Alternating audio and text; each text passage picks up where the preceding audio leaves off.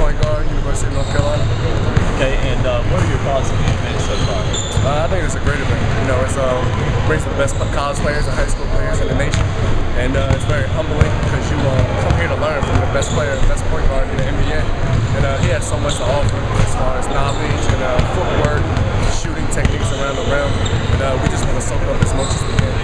What was it like going up against Chris Paul yesterday, one on one? Well, it was great. You know, um, past three weeks or so, I've been going up against Raymond Felton every day in the gym, and uh, he's really helped me get better at uh, defense and guarding quicker players.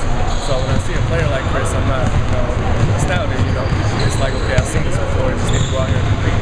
One thing I want to get better at is just my footwork, you know, and uh, finishing around the rim. I feel like that's a big part of uh, point guard position when you come off of pick and rolls, being able to use that footwork and uh, get the big in the air and stuff like that. What's one of the toughest college guys out here that you maybe haven't really competed against?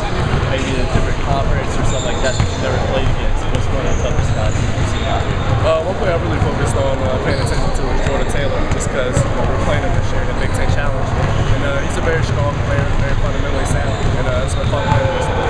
Okay. All right, thanks, man.